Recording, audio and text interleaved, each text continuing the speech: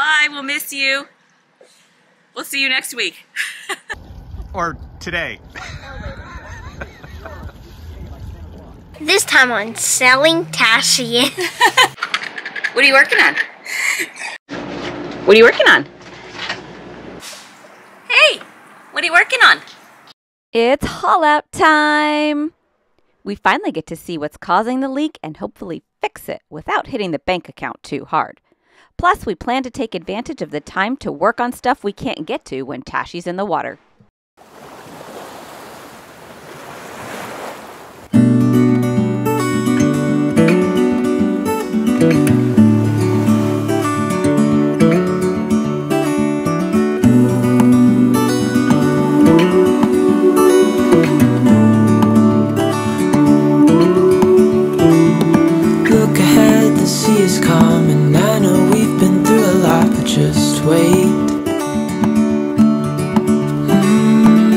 For better days to come and carry us like wind in our sails. Hold on tight, I can smell the shore. We say goodbye to our cozy little marina slip take a short motor over to the yard where our project manager, Elliot from Svendsen's Bay Marine, is waiting for us. After a quick hello and small talk, we're ready to get our girl in the hoist and out of the water. Then it's a quick power wash and a short ride over to the parking spot where Tashi is now ready for inspection and analysis. Upon initial examination, we only noticed an odd piece of some kind of sealant that looked out of place. What little remained had fallen off as we were messing with it, but its absence seemed to have left a gap between the hull and the mounting plate, which could be where water would come in. We also noticed some flaws in the anti foul paint that we decided we could take care of ourselves. Taking the shaft log out and doing a thorough inspection was the only way to uncover where the water was leaking in and determine what would need to be repaired. So Jorge, our specialist, got right to work disassembling the shaft pieces.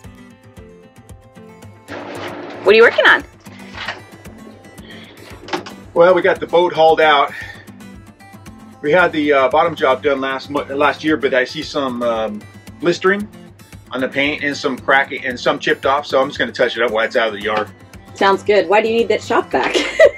um, because the, the, paint itself, it has uh, copper in it, and it's uh, toxic to the environment.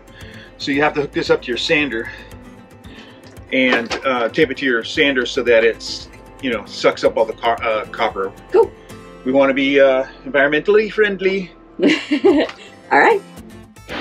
So this is the pitting and the little bit of um, wear that we had seen. And then I don't know yet. I think you can kind of see that all this rippling here, these little pimples, we're going to sand that out because that means that's where it has not adhered.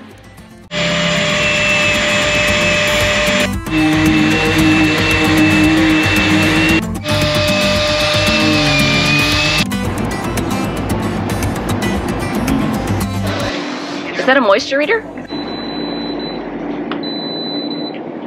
Pretty wet in there. Hmm. Yeah. This one is going to be a problem. Yeah. So that one was easy to get out. This one is the one they're struggling with. Debating whether or not to pull the entire shaft, which would mean removing the rudder. So, the debate for today. The space around the shaft is tight. So Hal and Jorge studied the boat for a while and determined that they were going to give it a go with some specialty tools that could reach around and under and wherever they had to go. And Hal offered up his assistance. I mean when you want me to turn. Go? Okay partly to save paying an extra person, and partly because he wants to have as much knowledge as he can about Tashi so that he could potentially do the work himself if ever needed. Okay, here we go. We coming over at the right time.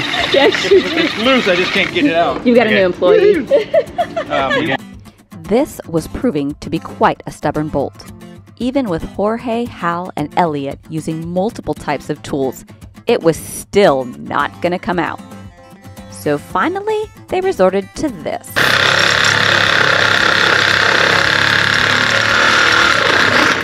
There he is. Woohoo! With the bolt cut, they could chip away at the adhesive and attempt to remove the shaft log. You say hold it?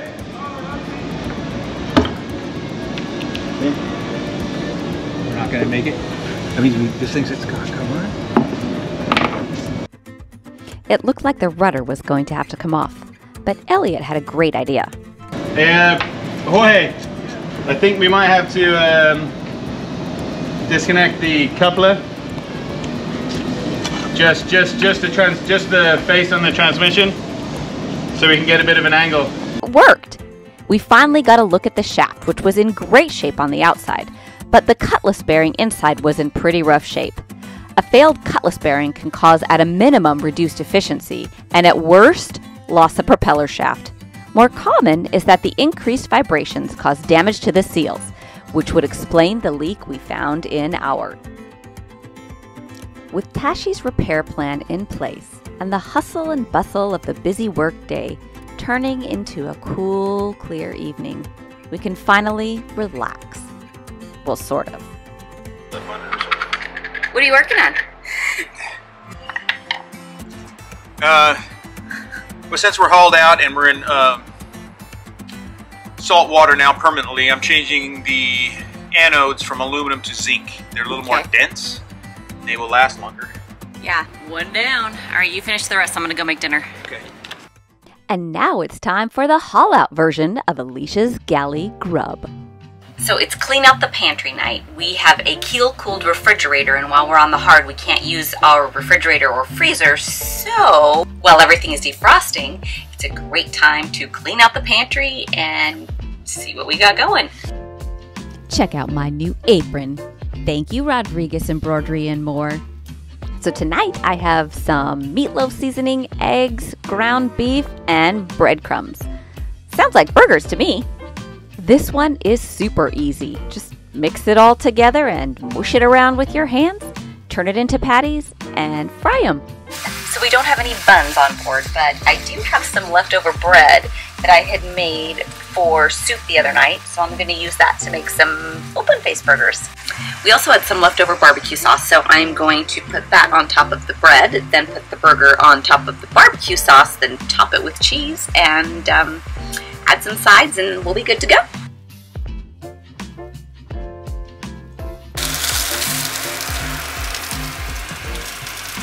The inside of the boat is a mess, but the temperature outside is lovely. So we are going to eat outside tonight.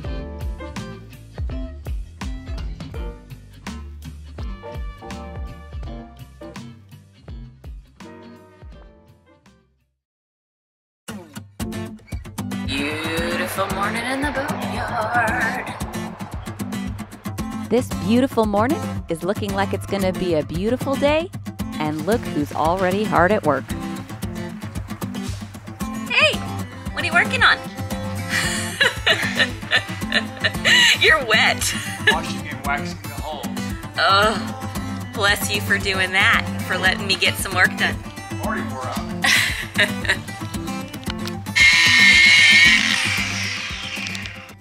So it's the weekend and we've been working, but there's no crew here anymore. So I might take this opportunity to explore because this boat over here fascinates me. It is completely wooden and it is ginormous. It reminds me of Noah's Ark. I'm gonna go down and take a look. I always wonder what the history is behind these boats. These wooden boats have probably seen some stuff. I just think they're so cool.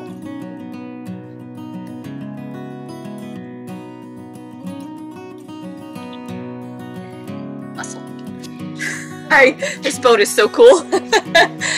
You know what that is? no, huh? That's the old uh, Alcatraz. Uh, they would take the prisoners to Alcatraz. Oh, really? Boat called the Warden Johnson. The yeah. Warden Johnson? Yep. Oh, very cool. Now I'm gonna have to look up the history. That is super cool. Yeah. The motor vessel Warden Johnston was named after the longest serving warden at Alcatraz, James A. Johnston. He served as warden between 1934 to 1948. This vessel operated from 1945 to 1961 and carried inmates and officers to and from the prison, as well as their families and any necessary supplies.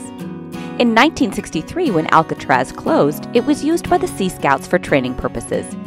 In 2021, the Warden Johnston was declared a historical maritime asset. I am in awe of this vessel and its history, and I truly hope that someone is going to give her all the care that she deserves. I love these old boats.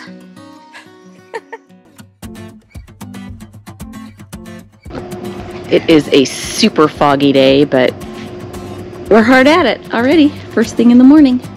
Gotta wax those holes that he just buffed out. So here we go.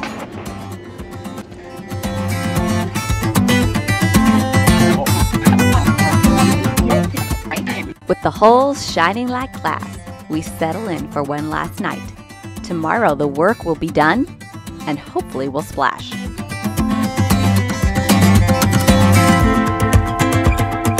Good morning, Jorge. Hey, brother. I, The last job we're doing at this boatyard is these stickers. yay! Hey, looks awesome. Perfect timing because Tashi has a brand new cutlass bearing installed and the shaft log is back in. It's all filled with uh, 4200 silicone, adhesive, uh, whatever it is. Sealant, yeah. This should not leak. And in this way, you can you can remove the bearing anytime.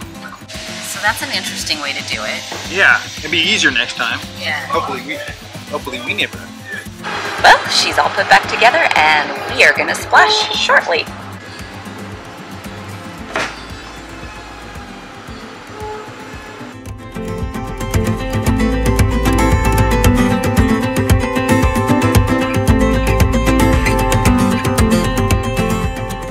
Ready? Yeah, you can go. Thank you, Jorge. Bye. All right. All right. All right, see you at the marina. See you. Thanks, guys. So Tashi is in the water, and Hal is taking her by himself. It's just a little 30 minute trip around, but uh, it, it feels really weird not having him, not being on board with him. Um, and if it feels weird for 30 minutes in a extremely easy conditions, I can't imagine what 11 hours would have felt like. So, uh, Mike and Rhonda, we really owe you guys. So, uh, I'm headed off to the marina by myself. Hopefully, it will all go well, and I will meet him to grab lines at the dock on the marina. Everything was running really good so far, so we'll see. Well, I made it to the marina, so now we get to see if Hal will make it with Tashi.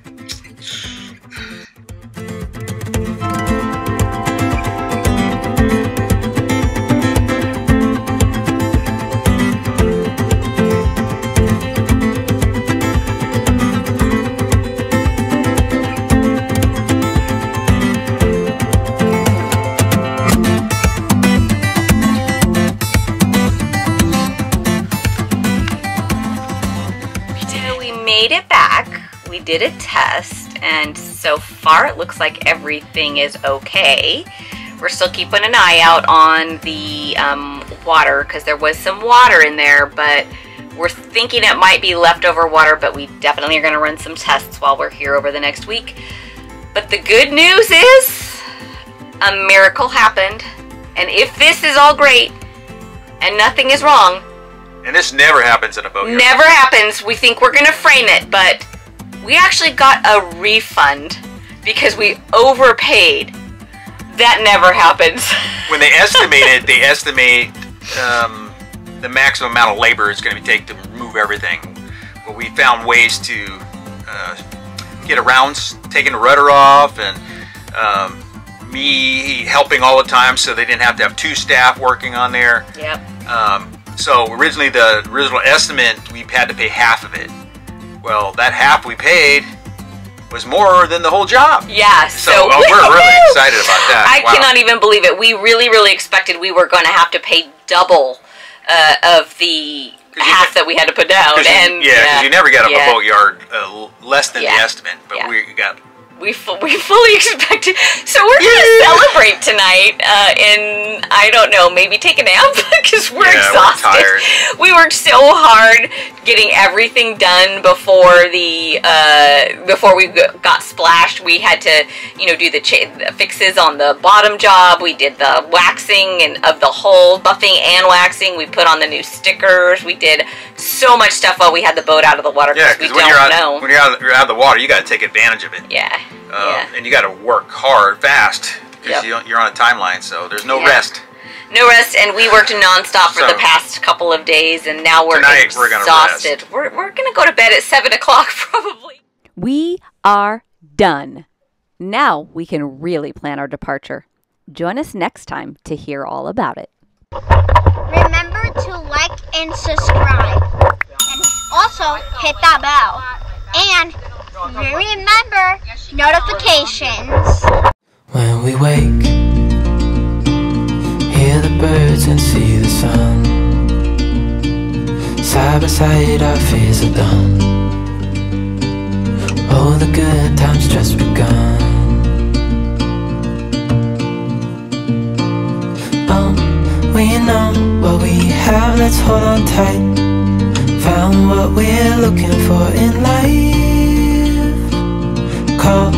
Us crazy, but things are finally right. With you and I, the future is bright.